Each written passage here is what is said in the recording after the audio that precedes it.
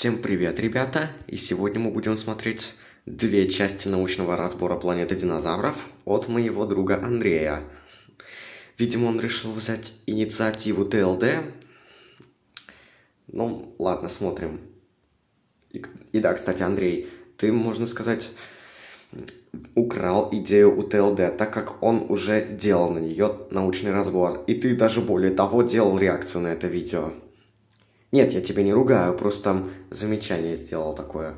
Если спросить, какие мои любимые документальные Субтитры стоп. динозаврах мне нравятся, то я отвечу. А именно «Планета динозавров».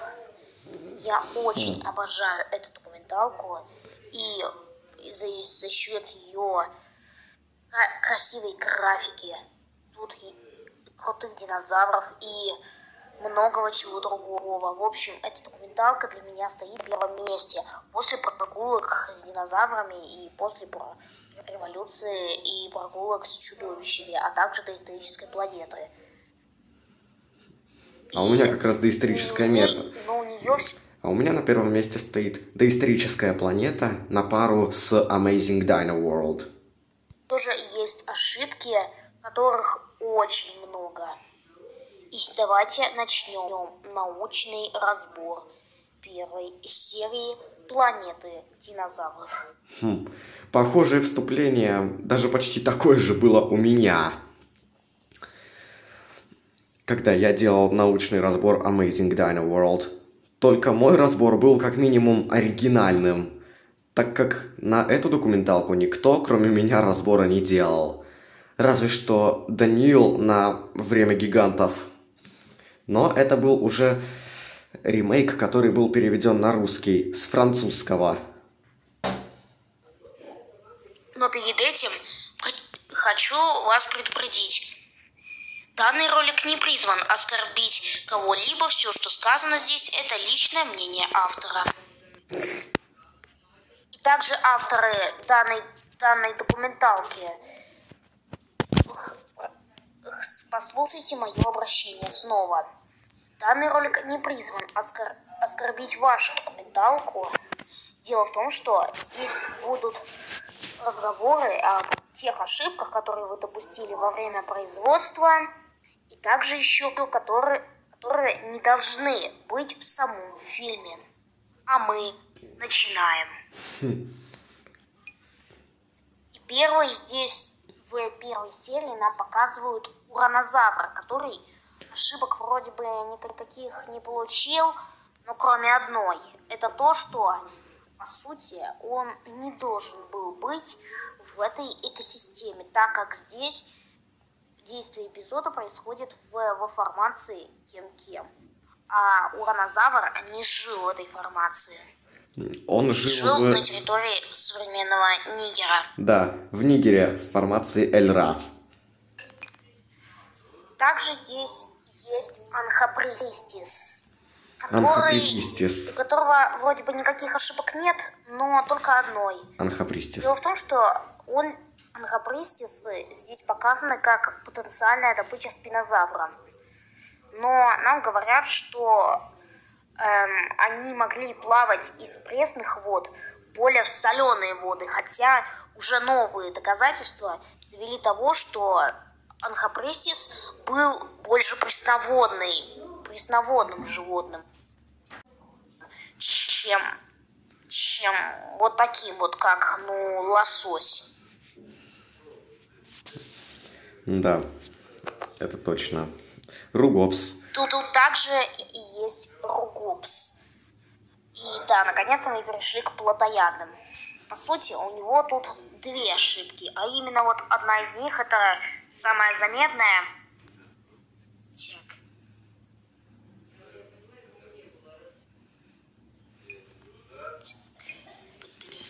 Самое заметное это впадины, да.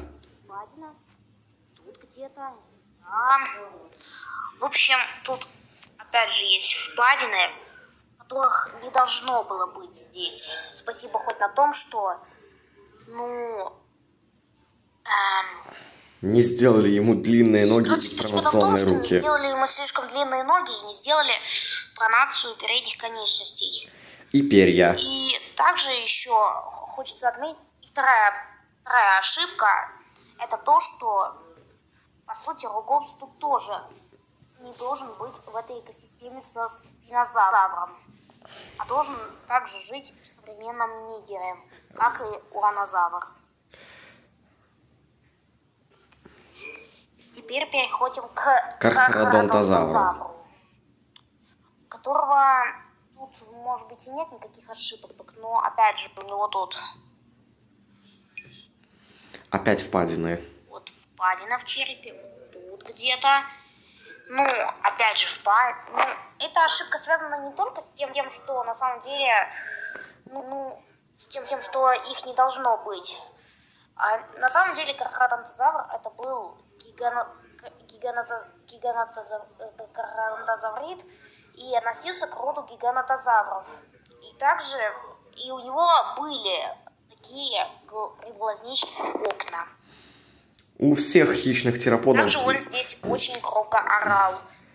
У всех динозавров, у травоядных и плотоядных, были такие окна в черепе. Но впадины в черепе делать им нежелательно. Хотя он не мог так орать. По сути, он должен... Как говорил кролик в Винни-Пухе. И незачем так орать. Издавать звуки, как, ну, крокодил. Ну, как, впрочем, все динозавры. Также еще хочется сказать то, что он здесь, здесь опять уживается с э, уранозавром и другими животными из этого эпизода. Но он, по сути, не должен жить ни с уранозавром, ни с арказухом и ни с ругопсом. Вот только со спинозавром. О спинозавре ну, речь пойдет чуть позже. Так мы разобрались. Теперь переходим Сарказух. дальше. Теперь переходим к сарказуху сути, у него тут две ошибки. Опять же, он не должен жить в этой экосистеме вместе со спинозавром. И во-вторых, здесь документалки его называют крокодилом. Хотя на самом деле Сарказух не был обычным крокодилом. Он был крокодиломорфом. А если уж включить голову, то фалидозавридом. Да уж. Ладно, с Сарказухом... И, наконец, перешли к спинозавру. Ну и наконец-то переходим к спинозавру. По сути, у него ошибок здесь три. Ошибки здесь три. Ошибки, а именно вот, смотрите. Него парус... Ой. Тьфу ты. Так. Господи.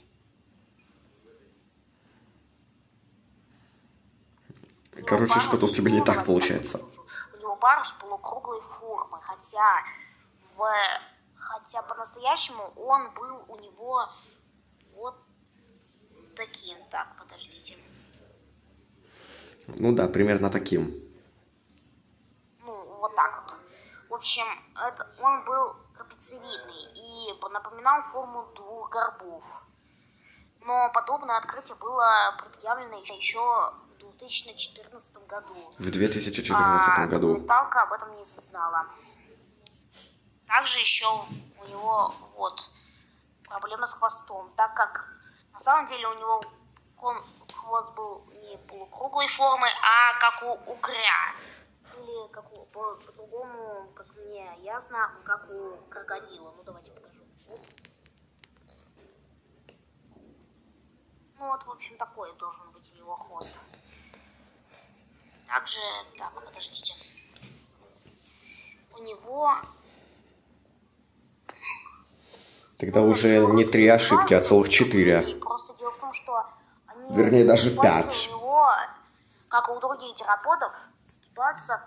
Сгибаются руки.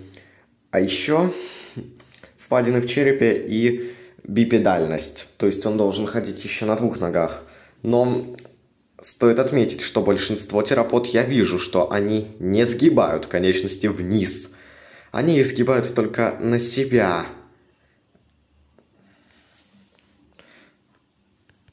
Так, человека, хотя мы все знаем, что у, спин... у динозавров такой особенности не было. И что на самом деле пальцы они сгибать не могли.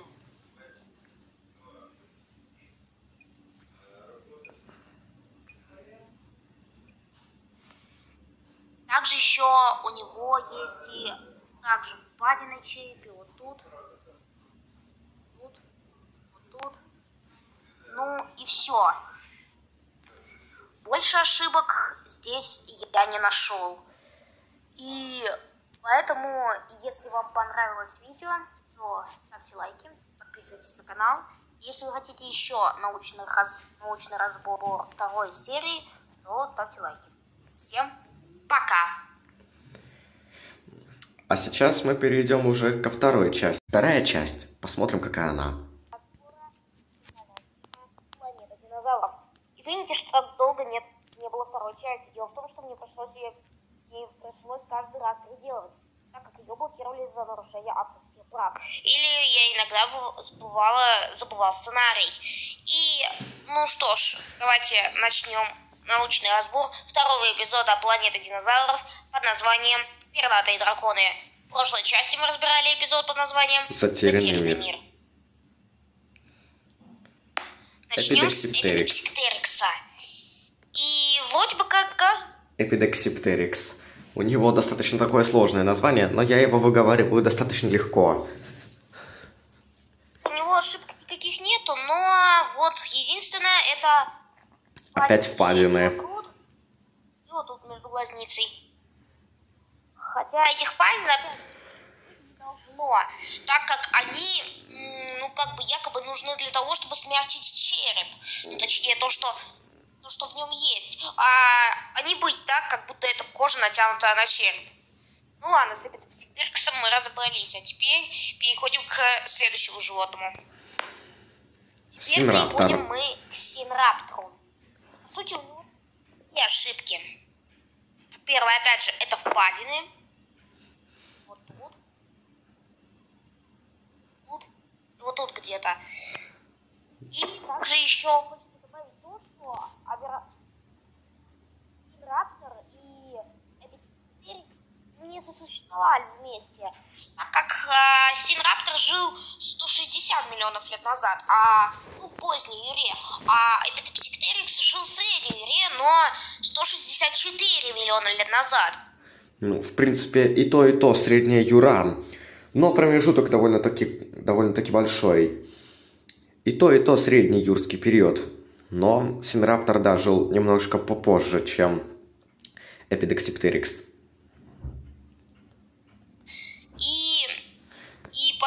Плюс его... давайте. Плюс еще они все к моменту события эпизода вымерли. Поскольку в этом эпизоде действие происходит 154 миллиона лет назад, а не в районе 160. Синраптора здесь быть не должно.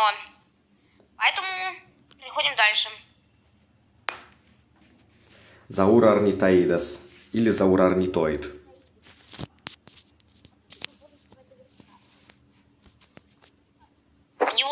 опять же, впадина в черепе.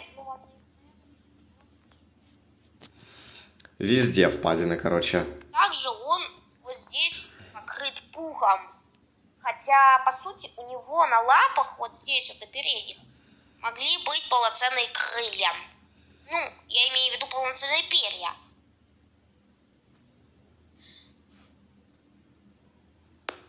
Авираптор. Теперь переходим к авираптору. Вор яиц, как переводится его название. У Авираптора здесь нет гребня, хотя я прекрасно вижу, что... Ой, подождите. Господи. Почему? Вот тут у него гребень на клюве есть. Вот где-то вот здесь, на носу. Хотя, наверное, может быть, я где-то его и не замечу не замечаю. Ребят, может, напишите в комментариях, где он. У него гребень вот здесь, на клюве. Но я заметил тут еще вот какую ошибку. Здесь авиаптор, он что-то какой-то слишком худой, хотя у него должно быть здесь пузо. Нормальный. Он не должен... Нормальный. Авираптор был такой на самом деле. Он не худой. Может быть таким худым. Вот почему его сделали вот таким маленьким, но одновременно и худым? По сути, должен быть чуть-чуть потолще, потолще. Ладно, переходим дальше. А теперь к микрораптору. Микрораптор. Один из самых маленьких динозавров. Есть две ошибки. Во-первых, опять впадины. Впадины в черепе. Сколько вот. можно? И вот тут еще где-то. Ну, в общем, вот они впадины, но... И, опять же, их впадин быть не должно. Да еще обратите внимание на цвет его меха. Перьев. Его перьев. Можно сказать точно, по сути, у него он должен был быть полностью черный, как ворон. То есть как ворона. Но находка была...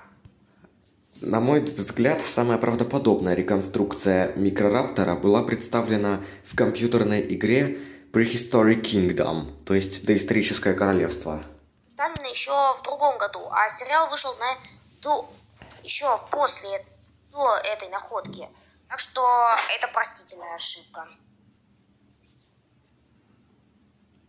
И последний из динозавров сегодня это синорнитозавр. Опять же, у него такие же ошибки, как у микрораптора, но вторая ошибка связана уже не с перьевым покровом.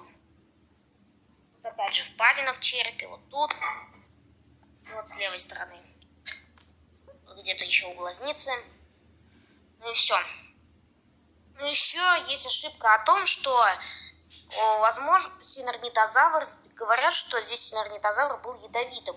Хотя, как говорил раньше Зелас Дино, возможно, Спалился. не был ядовитым. Это открытие было ошибочным, и многие думали, что это синорнитозавр, но на самом деле это был не синорнитозавр, а эти зубы вот принадлежали скорее какому-то другому динозавру. Нет, это именно синорнитозавр был, но просто неизвестно, был ли он ядовитым. Эта гипотеза основывается на частично сохранившемся черепе, который исследовали в 2010 году. Однако через некоторое время специалисты представили переоценку, где представили, что подобные желобки на зубах были обычным явлением среди терапод. Да и я, возможно, так, да и я также подумал почему-то, что, почему, что, наверное, эти зубы все-таки обычное явление среди терапод его размеров. Ну что ж, больше ошибок во втором эпизоде я не нашел. Но если где-то я пропустил, то напишите, пожалуйста, в комментариях. А если вам понравилось видео, не забывайте ставить лайки, подписываться на канал и писать комментарии, и нажимать на колокольчик, хотя он не нужен. И всем пока. Следующий, кстати, научный, следующий научный разбор, разбор планеты динозавров, точнее, следующий эпизод именуется как «Последние убийцы». Но разбирать я его буду в следующий раз. А пока что, всем пока. Пока, Андрюша. Через несколько часов выйдет реакция на, на следующие два научных разбора. А пока что, ребята, ставьте лайки, подписывайтесь и всем пока.